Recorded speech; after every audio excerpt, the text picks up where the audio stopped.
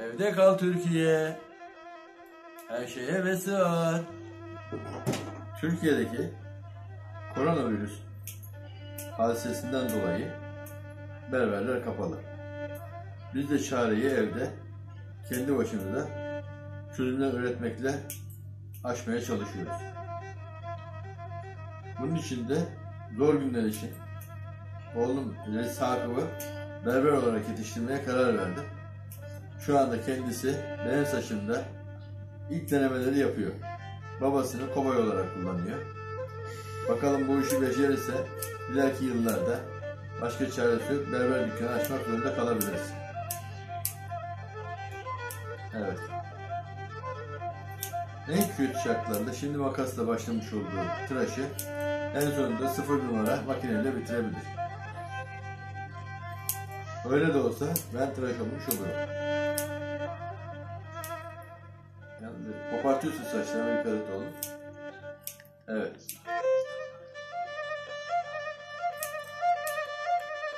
Görüntü güzel mi bir tane? Oradan gördüğün görüntü nasıl güzel mi? Parlak mı? Net mi? Evet. Tamam.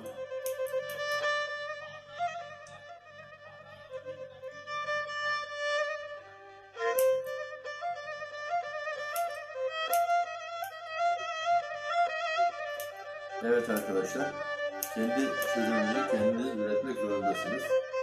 Yoksa insan ne zaman başına neler geleceği hiç belli olmuyor. Belgesellerde olan programlar gibi zor anlarda zor anlardan kolay kurtulmanın yollarını öğreniyoruz şu anda. Konumuz evde berberlik çalışmaları. Oğlum da saçlarım bayağı kesmiş ama işin sonunu Allah hayretsin inşallah. Saçım tutam tutam yerler dökülmeye başladı. Tabii bir aydır yaklaşık berbere gidemedik berberler kapalı olduğu için. Tabii bu kararı verenlere de saygı duyuyoruz ama yani halkın e, evde ekmeğini yapabiliyor ama evde kendi tıraşını olamıyor zannediyorduk. Yani evde kendi tıraşını da olabiliyormuş insanlar.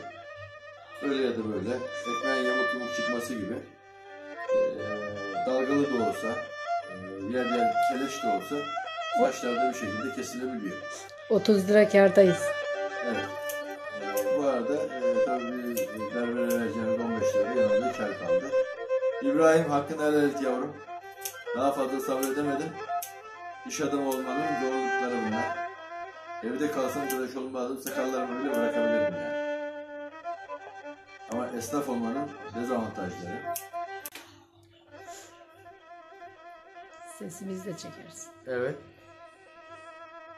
Oğlumuz berber, hanım kameraman. Biz bu işi inşallah hayırlısıyla başaracağız. Evde kal Türkiye.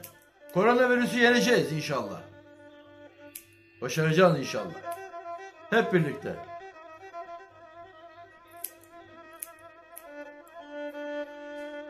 Canınız sıkılırsa şarkı da söyleyebilirsiniz.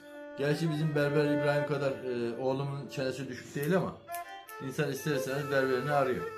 Berberde oturduğunuzda e, saçınız tıraşınız bitene kadar berberin muhabbeti sayesinde canınız sıkılmıyor. Benim oğlum biraz sıkıcı. Nurten telefonuna bak sen, işine bak Nurten Hanım, kameraman. Kameraman. Düzgün çek, yamuk olmasın görüntüler. Tamam bu tarafa geç şimdi Nurten Hanım. Sobanın tarafına geç, sobanın tarafına geç. Geriden doğru çek. Daha geriden, daha geriden, daha geriden. Çık çık çık çık çık.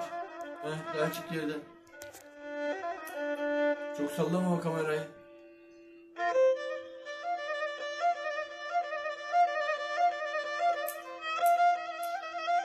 Evet arkadaşlar. Gitti gitti saçın hep. Tıraşımız devam ediyor.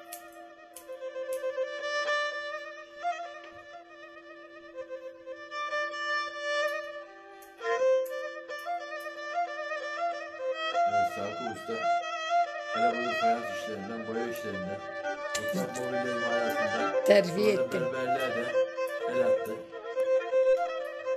İnşallah daha önceki işlerinde gösterdiği başarıyı berberlikte de göstereceğine inanıyorum. Bu arada Sakıp bir yandan da evin balkonunu yapıyor. İnşallah önümüzdeki günlerde Ramazan'da bol bol balkonda iftar yapacağız halde tıraşımıza devam ediyoruz. Evde kal Türkiye. Her şeye vesile. Teşekkür ederim Ürten Hanım. Kapatabilirsin. Hoşçakalın. Ürten tıp oynuyor. evet. Tıraşımız bitti. Ee, tıraşın son halini görüyoruz. Dolaş bakalım Ürten Hanım. Yavaş yavaş. Yavaş yavaş. Yavaş. Koş demedim. Yavaş. Evet. Evet. Nasıl olmuş? Karar siz vereceksiniz. Güzel olmuş. Evet. Bu tarafa doğru dönün bakalım. Şöyle bir sağ tarafa. Tavaf yaptık. Evet. Tavaf yapmış oldun. evet. Number one. Teşekkürler.